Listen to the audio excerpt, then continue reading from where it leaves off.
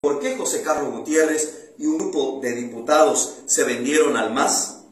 Después de pretender imponer un jefe de bancada sin haber realizado elecciones democráticas internas en nuestro partido, se alió con un bloque del MAS para asegurarse cargos en la Cámara de Diputados a cambio de la cabeza de Luis Fernando Camacho. Y al parecer ha comenzado a cumplir ese mandado porque ha comenzado su campaña de acusaciones falsas contra el gobernador de Santa Cruz y líder de la alianza Creemos. En realidad, hace algún tiempo advertimos de acciones irregulares de José Carlos Gutiérrez, cuando el año pasado, en una alianza con ucesistas y masistas, impidió que asuma como presidente de la brigada parlamentaria el doctor Henry Montero ya veníamos advirtiendo en la conducta de este diputado y de otros que le siguen una conducta de entreguismo con el movimiento al socialismo, priorizando sus intereses personales. En realidad es José Carlos Gutiérrez y ese pequeño grupo de parlamentarios quienes se han desmarcado de Creemos.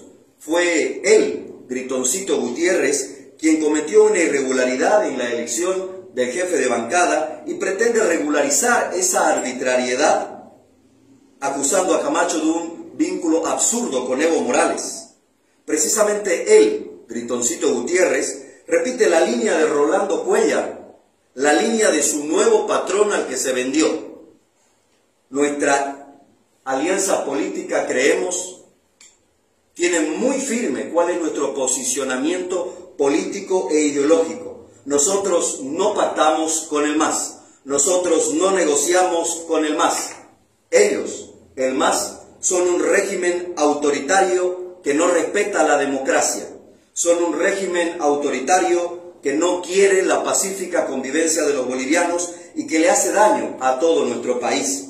Por eso queremos transmitir a la ciudadanía boliviana y cruceña en particular que seguiremos firmes para luchar contra el MAS en defensa de los intereses de Santa Cruz y a pesar de aquellos que anteponen sus intereses personales a la lucha del pueblo.